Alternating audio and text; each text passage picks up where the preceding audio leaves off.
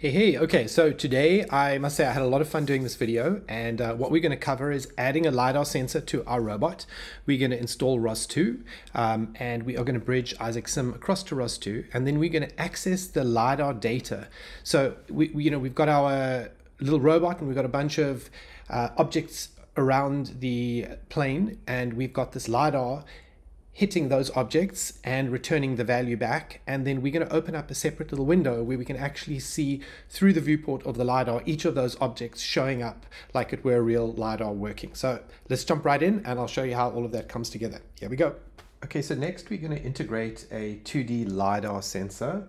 So to do that, we are going to go to our simple robot and go to the front sensor and right click actually we're not going to right click we can't add it there. We're going to go to create. So what I'm saying here is you can't right click and uh, create. We don't have uh, the right uh, options there. We've actually got to go to create here.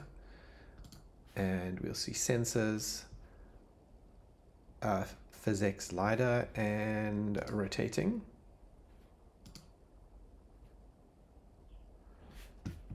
okay and there we've got our LiDAR sensor and let's select it and let's just put it on top of the uh, sensor mount.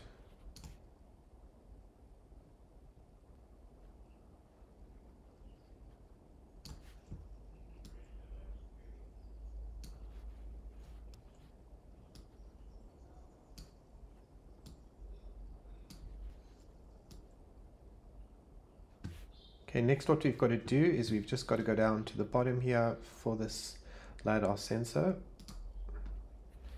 And we've got to activate draw lines and draw points and then we can go ahead and run it. We can see there is our LiDAR so let's just zoom out. Let's see what it's doing. And we can see it's sending out the LiDAR to each of the objects. We can see the LiDAR is actually going through each of the objects. It's not actually getting stopped by them. See, like for example, this, this cube, it's coming right through. So what we need to do is we need to select each of these objects.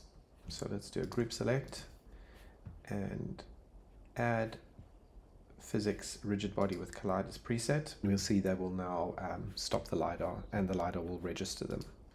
So let's go ahead and run this again and we can see now the LiDAR is actually stopping as it hits each of these objects. And if we want to slow down the LiDAR so we can see what it's doing a little bit more uh, specifically, we can go down here and select LiDAR and we can change the rotation rate, let's say down to 5 and run again and it's going a bit slower and if we want it down to let's say even 2 then we've got a little bit more granularity of what it's doing. So for the next step, we have to add ROS2. So let's start off just by checking if um, we have a locale that supports UTF-8. So just type in locale and we see we do. So first just go to software and updates and make sure that Ubuntu Software Universe is enabled. Then we're going to run, then we're going to add the ROS2 GPG key with apt.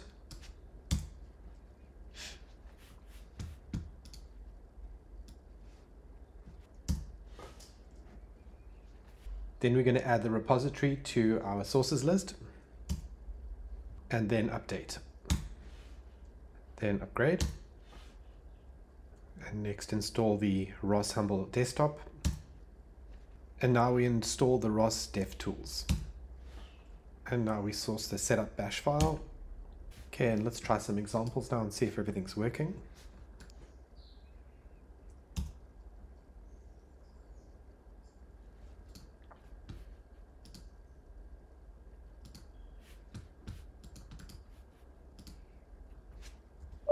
And then in another window we're going to run a listener.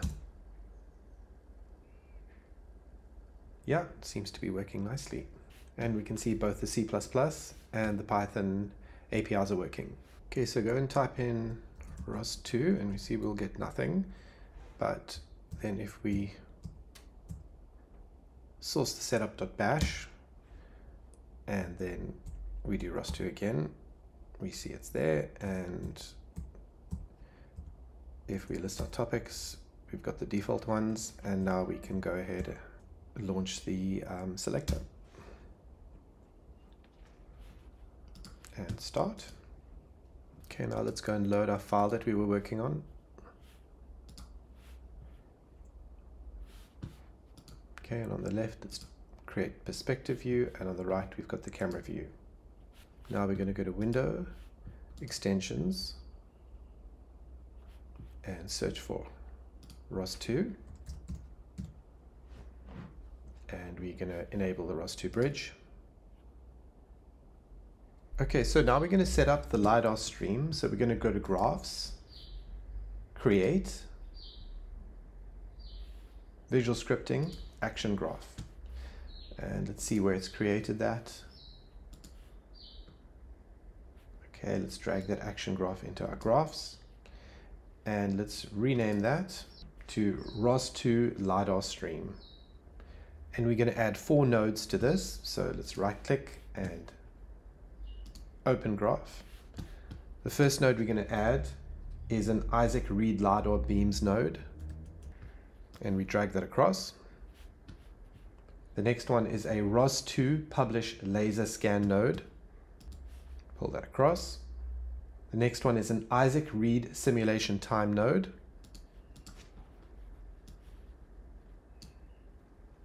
And lastly is an on playback tick node.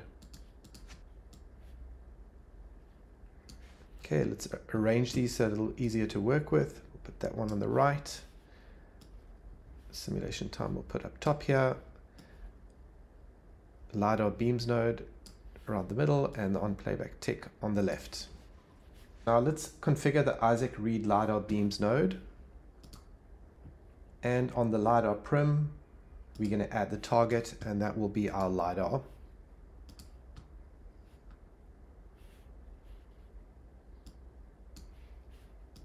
And we select it.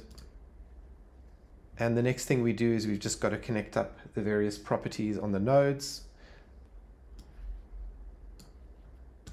depth range, horizontal field of view, horizontal resolution, intensities data, linear depth data, num cols, num rows, and rotation rate. And then we're going to do simulation time through to timestamp, and we're going to put the tick through to the execute in, and we should be ready now. Actually, I forgot one last thing, and we need to change the topic name to scan LiDAR. Now let's start the simulation, turn on the LiDAR, and we can see there it's going. Now let's open up a new terminal.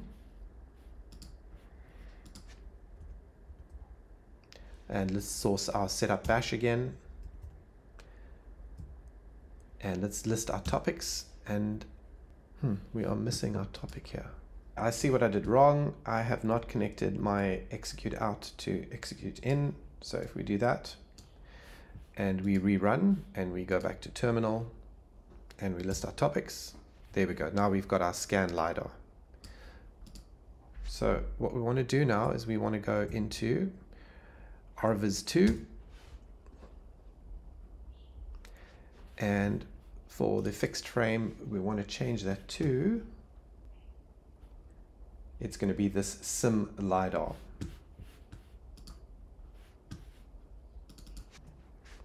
And then we what we want to do next is we want to add by we go to by topic and we want to add from scan LiDAR from scan LiDAR the laser scan.